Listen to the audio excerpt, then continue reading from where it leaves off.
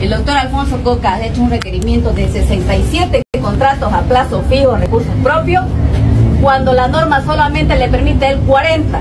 Y es por eso este movimiento que él ha generado, mintiéndoles a todos ustedes que Lilia Tunduaga no quiere hacer nada. Y eso es falso. Porque Lilia Tunduaga siempre va a hacer todo de acuerdo a norma. Y él solo puede contratar a 40 funcionarios a plazo fijo es la facultad con mayor contratos a plazo fijo. Es la facultad que invierte el 50% de sus ingresos en pago de sueldo. Es la facultad donde tienen ustedes un montón de requerimientos de compras de activos fijos, pero prefieren gastarlas en sueldos y salarios. ¿ya? Ahora, ustedes como estudiantes es una vergüenza que estén apoyando este movimiento sin ningún fundamento.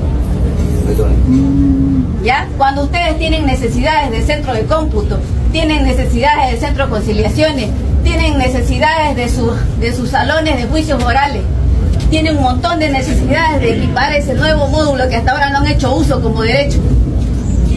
Conozco la facultad, he trabajado 19 años en jurídica, 16 años en la jefatura administrativa y financiera, conozco el movimiento económico, Así que no hay excusas aquí.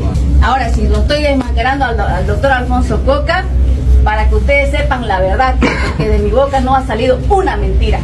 Todo lo que estoy diciendo es cierto. Y en este momento no cursa un requerimiento de contratación de la Facultad de Ciencias Jurídicas para poder atenderlo. ¿Ya? Entonces creo que jóvenes, este movimiento ha sido, los han utilizado.